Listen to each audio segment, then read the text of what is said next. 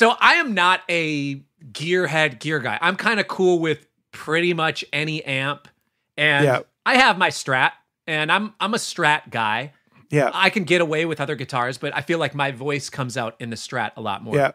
I remember at this festival, but most of the time with Vulfpeck, I just say backline me two Fender amps, kind of whatever, because I Yeah. know every backline company has a couple great amps. It's a And- safe place. Yeah. yeah. And I, I don't remember if it was this festival or something else in particular, uh, another one that I saw you at, but I had backlined two super reverbs.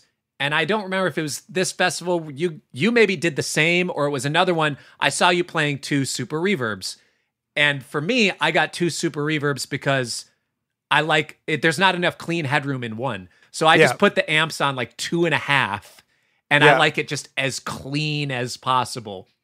And you had almost the opposite approach, Oh, where yeah. it seemed like everything, both amps are dimed because you're trying to get all the muscle out of the amp.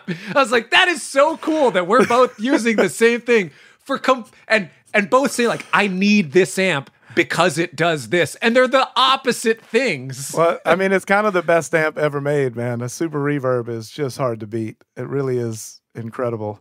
But yeah, I, I pretty much dime them, but I use the volume knob on my guitar yeah, like I, like I, you know, Okay. it's it's kind of no pedals going into it, and I want when I amp the the volume on the guitar, I want to get that compression, but the the cleanness of a super when you're on about three or four on your guitar and about seven ish, eight ish on your amp is a is a pretty sweet sound too.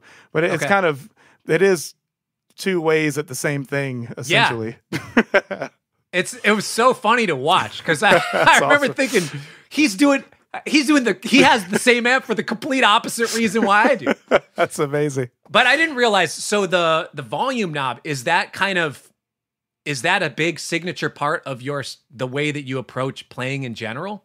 I mean, it's kind of the only piece of gear that I'm really that I really tweak on is like having the right volume pot in there because it has Really? to be yeah, it has to be the right sweep. Like cuz when a lot of them you get stocked it's like the guitar is off on, you know, there's Yeah, not a yeah, lot yeah. of there's not a lot of gradient in there. So Sure. um I'm I'm not enough of a guitar nerd to be able to tell you what's in there. Sure. Yeah, yeah, yeah. but It's just the one that feels good. Yeah, yeah. I know when it's not right. I'm like, Bobby, what's going on? here?" Yeah. He's like, oh, we got to change this out. But yeah, uh, there's something about that when you get that sweep where it's it's pretty even from zero to Yeah. ten. That's that's where that's where a lot of uh, a lot of the sound that I'm going after is is hidden is in Yeah. the, is in that.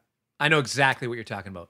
With a super reverb, I like it because the tens, the 10 inch speakers are really fast. And I, Yeah. with my fast rhythmic percussive thing, I'm trying to be like a bongo player half the time. Yeah. So. I like the fast attack. What do you like about, like, why a super instead of a twin for you? It, it's the tens. I think it's the tens, and I think uh, Super is one of the few amps that are uh, at two ohms. So it's just Oh, yeah. There's, there's almost no resistance between what you play and what you feel and hear.